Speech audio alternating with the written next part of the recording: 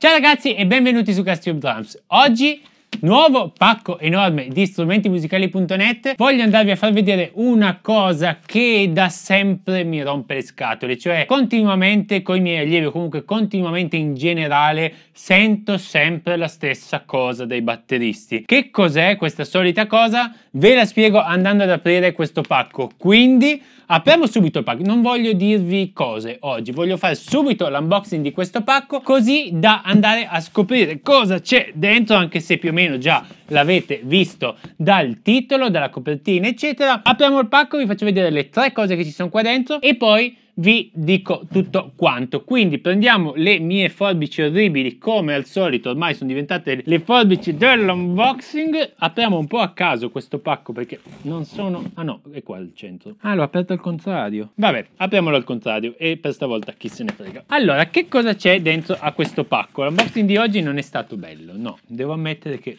non è stato bello, ma non fa niente. Allora, l'importante è il contenuto. Per prima cosa abbiamo ovviamente un pedale, questo tanto l'avete già visto dal titolo. Primo pedale, Yamaha, eccolo qua, veramente bellissimo questo pedale. Mamma mia, quanto sono belli i pedali Yamaha. Dopo vi spiego perché ho deciso di utilizzare questo pedale qua e di parlarvi di questi pedali. Poi, secondo vieni su. pedale che andiamo a vedere. Sempre Yamaha ma un pochettino diverso. Adesso vi spiego il perché. Qui abbiamo praticamente anche la bolsa per portare il pedale. E all'interno abbiamo questo pedale qua che sembra uguale identico a quello di prima. Se li vediamo diciamo sono identici. In realtà non sono identici proprio per niente perché questo qua ha la doppia catena come potete vedere e invece questo ha la trazione diretta. Quindi voglio andare a fare il confronto con questi due pedali che sono secondo me tra i pedali più fighi che ci siano in assoluto almeno io ho sempre usato questa tipologia di pedali non questi Yamaha così nuovi questi sono molto più belli però ho sempre usato Yamaha perché mi sono piaciuti un sacco. Non hanno un costo eccessivo ma sono veramente buoni. Poi però vi voglio far vedere anche un altro pedale che mi è arrivato aiuto. Questo non è uno Yamaha ma è un Tama. Vado ad aprirlo dove sono le forbici? E questo pedale ho voluto farvelo vedere perché costa meno praticamente costa la metà rispetto a quei due Tama ma secondo me è un ottimo pedale. Quindi se non avete un budget eccessivo ma volete comunque un pedale buono questo qua è perfetto sto parlando dello Speed Cobra di casa Tama. Quindi, allora, perché ho voluto fare questo video? Perché troppo spesso dai miei allievi, troppo spesso da chi mi scrive su Instagram, da chi mi scrive per chiedermi delle cose, mi viene detto ho problemi col pedale, quindi mi devo comprare assolutamente, oppure mi sono comprato questo pedale qua perché l'ho pagato 400 euro, un pedale singolo, però è il pedale migliore che ci sia e assolutamente con questo qua sicuramente avrò dei miglioramenti pazzeschi. È una cavolata. Quindi questa è la solita cavolata che tutti pensano anch'io all'inizio pensavo quella cosa lì, se ho un pedale super costoso suonerò sicuramente benissimo. Non è vero, bisogna acquistare un pedale buono come questo, come questo o anche nonostante il prezzo minore come questo qua e studiare bene la tecnica. Quindi insieme a questi tre pedali oggi vi voglio far vedere qual è la tecnica giusta del pedale, come fare per poter migliorare col pedale perché è un problema che hanno tutti i batteristi soprattutto alle prime armi. Quindi andiamo a prendere questi pedali comincerò con questo Yamaha qua a catena doppia e incominciamo vedendo un attimino la prima cosa da fare, la prima tecnica, praticamente come settarsi sul pedale e soprattutto andiamo a vedere qual è la differenza tra catena doppia in questo caso e trazione diretta, cioè con questo pezzo di metallo al posto della catena. Detto tutto, monti pedali, sigla e ci vediamo dall'altra parte.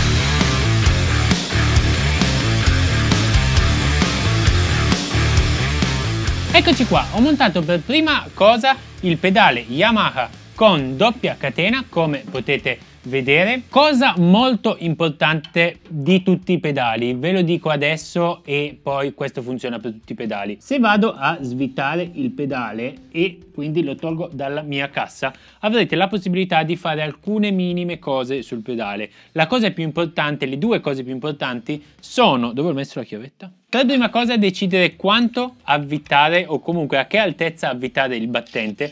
Vedete io svitando questa chiavettina qua posso far andare su e giù il, il battente. Vi consiglio di metterlo a metà della pelle. Se avete una casa da 22 come la mia, mettetelo praticamente a metà della pelle. Seconda cosa, la questione molla. La questione molla che si può tirare o svitare o mollare, vabbè non è il massimo, però vabbè. Andando a tirarla in questo modo voi tirerete la molla, quindi cosa vuol dire che il pedale sarà più duro. Andando a tirarla meno il pedale risulterà più morbido. Questo non vuol dire che col pedale più morbido si va più veloci e col pedale più duro si va più lenti. Vuol dire che dovrete fare un po' di prove. Fate tante prove con la durezza del pedale. Mi raccomando perché è molto importante. Io ad esempio volendo un suono sempre abbastanza potente non avendo bisogno di chissà che super velocità tendo a tenere il, la molla abbastanza dura perché avendo la molla abbastanza dura il pedale risponde di più, la pedana del pedale proprio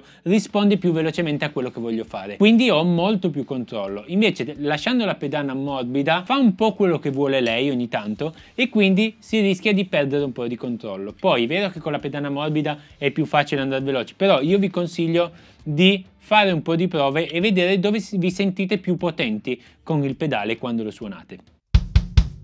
Quindi, allora, proviamo questo pedale con la doppia catena e poi lo confrontiamo con l'altro. Parto dicendovi che per quanto riguarda la tecnica del pedale dovete sempre tenere il piede non in cima al pedale ma tenetelo sempre più o meno a metà della pedana quindi un pochettino più avanti della pedana diciamo che questo avendo la scritta Yamaha qui io devo riuscire a vedere la scritta Yamaha, quindi sia simbolino sia scritta. Questa è la posizione perfetta, poi se andate un filo sopra la scritta non c'è problema, però cercate sempre di stare più o meno a metà. Quando siete arrivati a metà, che cosa dovete fare? In pratica c'è la possibilità anche di suonare con il tallone verso il basso, ma ve lo sconsiglio, soprattutto se fate rock, pop, metal, eccetera. Dovete praticamente alzare il tallone e darvi una spinta con la punta in modo da alzare tutta quanta la gamba, quindi così.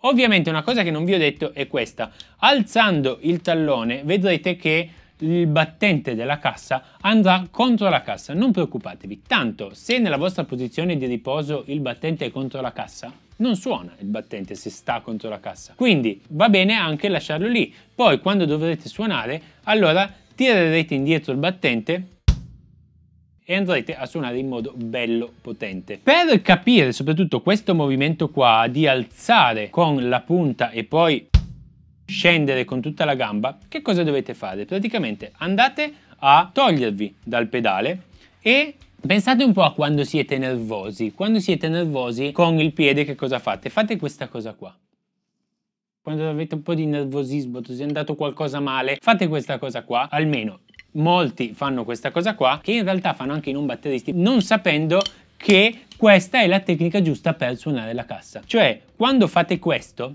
voi che cosa state facendo? Praticamente con la punta vi state dando dei colpetti che fanno sì che alzino tutta la gamba, sia il tallone sia tutta quanta la gamba. Però la gamba non sta facendo nessuna fatica, non è questo dove allora avete tutto tirato e quindi la gamba si sta alzando da sola. Qui è praticamente la punta che va ad alzare la gamba e quindi la gamba è completamente morbida, quasi come fosse a peso morto. L'unica cosa che funziona è la, la punta che fa questo.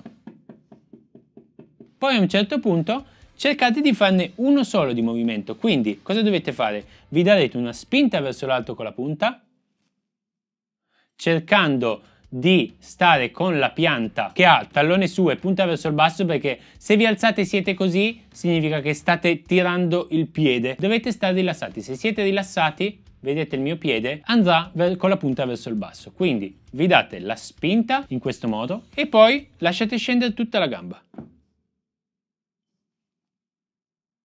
Portato alla batteria questa cosa, cosa sarà? La salita normale e poi scendete a peso molto con la gamba cercando ovviamente di scendere prima con la punta. Se scendete con tutta la pianta insieme non funziona, dovete salire e poi scendere con la gamba tutta insieme ma principalmente con la punta. cercate di salire senza mai staccare il piede dal pedale.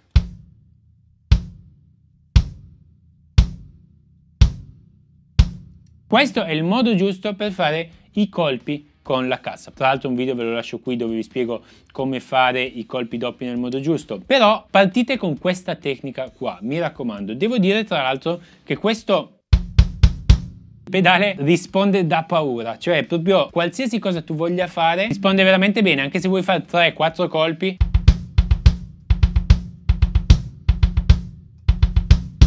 veramente veramente veramente bellissimo lo confronto subito con l'altro pedale Yamaha quello con la trazione diretta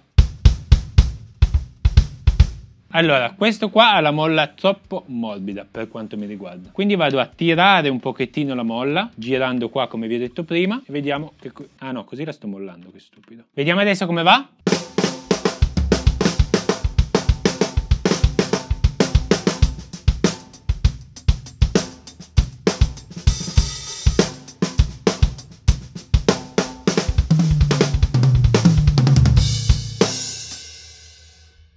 Allora, non è male per niente, cioè un pedale pazzesco ovviamente, però probabilmente è anche una questione di abitudini. Io ho sempre avuto catena o singola o doppia, quindi quello con la catena mi sembra più pesante, come se avesse più peso. Quindi forse questo è per riuscire ad andare ancora più veloci rispetto al pedale con la catena. Utilizzando questo mi sembra di perdere un pochino di controllo. Quindi dipende a cosa vi serve. Se vi serve più controllo e più peso del pedale, quello con la catena. Se vi serve meno peso del pedale ma più velocità, allora trazione diretta. E vi faccio vedere l'altro pedale della Tama che è questo qui. Questo, eh, allora, bisogna per prima cosa montargli la molla che è già montata in realtà, però basta andarla ad allocare nel posto corretto. Scaltavetriamo qua il coso, com'è questo, fatto in mille pezzettini, poi non li trovo più in tutta la stanza, vabbè. Fatto, tutto a posto. Questa ha un eh, battente un pochettino diverso, dagli altri solo un feltro. Questo in feltro e volendo dall'altra parte in plastica. Secondo me si potrebbe anche utilizzare da questa parte qua, avete un suono un po' più secco, un po' più potente. La particolarità di questo pedale, tiro un po' la molla, tanto so già che sarà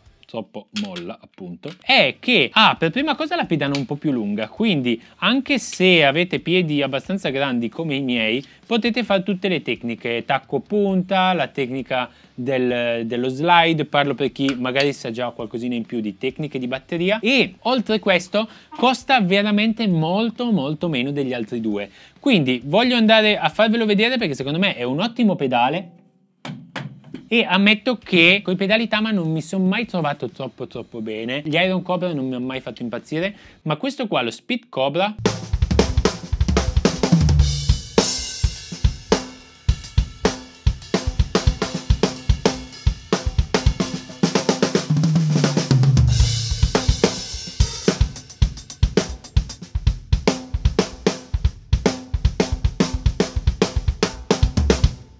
Non è male, non è male. Adesso forse ho tirato un po' troppo la molla per i miei gusti, però funziona veramente molto bene. Devo ammettere che è un pedale ottimo e più che altro ti permette di andare abbastanza in giro, quindi tu puoi suonarlo un pochettino più avanti e quindi essere proprio eh, attaccato attaccato al pedale oppure far muovere un po' più il pedale e quindi lasciargli un pochettino più di gioco andando un po' più indietro